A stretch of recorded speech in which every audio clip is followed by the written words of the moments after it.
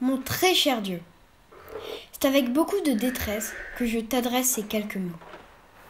Je sais que je n'ai pas beaucoup pensé à toi ces onze dernières années, mais avoue que tu ne penses pas beaucoup à nous non plus.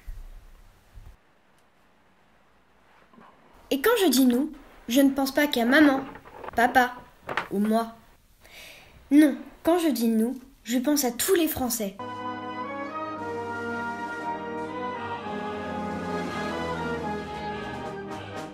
Mais aussi aux Italiens, les Espagnols, aux Chinois, Indiens.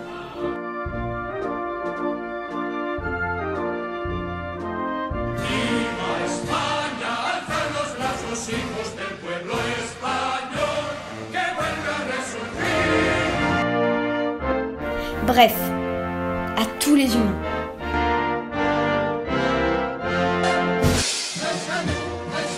En fait, au fond de moi, ça fait bien longtemps que j'aurais dû t'écrire. Parce que du haut de mes 11 ans, je me rends compte qu'aux quatre coins du monde, les gens se tapent sur la gueule.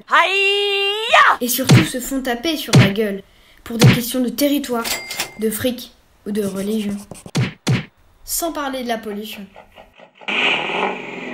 Bon, mais c'est pas pour cette ces raisons que je t'écris. Non, je t'écris, mais tu dois le savoir si tu existes, car il y a un truc un peu relou qui nous arrive à tous. Il y a le corona qui nous emmerde grave.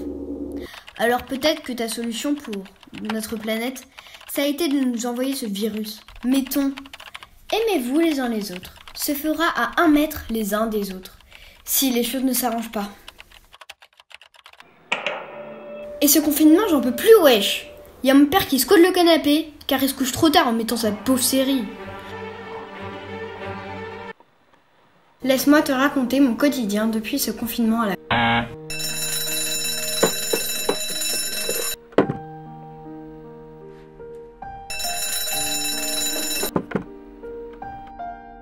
Comme tu vois, tous les matins, levé à 7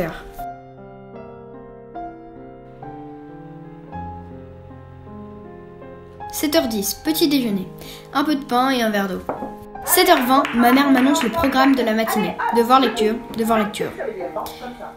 De 8h à midi, je travaille soit avec mon père, s'il dort pas, soit avec ma mère. De quel bâtiment le mur des lamentations? Des... Pardon De quoi? Le mur de quoi? Euh, Lamentation. Oui, je préfère. Midi 10, déjeuner. Une pomme de terre, du pain et un verre d'eau. 13h.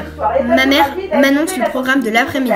Devoir lecture et devoir De lecture. quel bâtiment le mur des lamentations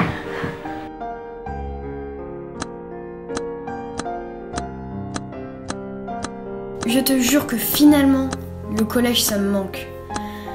Les profs et surtout mes potes. Bon, j'avoue, j'abuse un peu sur l'ambiance à la maison. Mais fais quelque chose pour que ça nous, ou plutôt leur serve de leçon à tous ces idiots d'adultes.